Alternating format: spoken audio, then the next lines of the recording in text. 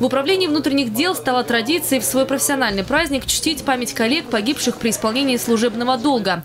На этот раз родственников погибших полицейских пригласили на прием главы города. Мероприятие прошло в Олимпийском парке.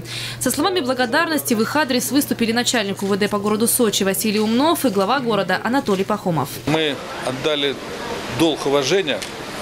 Мы, по большому счету, в вечном долгу перед этими семьями, перед этими людьми. Мы не только собираем на такие мероприятия, мы еще и занимаемся тем, чтобы в течение всей жизни оказывать содействие и поддержку э, вот этим семьям. Администрация города тоже материально поддержала э, наших э, матерей, отцов, э, жен, детей.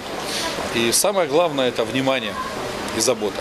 Там же в Олимпийском парке для семей погибших сотрудников полиции организовали экскурсию. В сопровождении главы Сочи они смотрели олимпийские объекты и другие достопримечательности. Спасибо, что этот, в этот день вы не забываете о нас, что мы, вы приглашаете нас.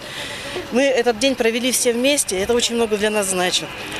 Нам организовали сегодня невероятное мероприятие. Нас прокатили по трассе Формулы-1. Нас привезли в замечательное место. Нам сегодня столько много уделили внимания. Нам подарили сегодня хорошие подарки. Спасибо вам огромное.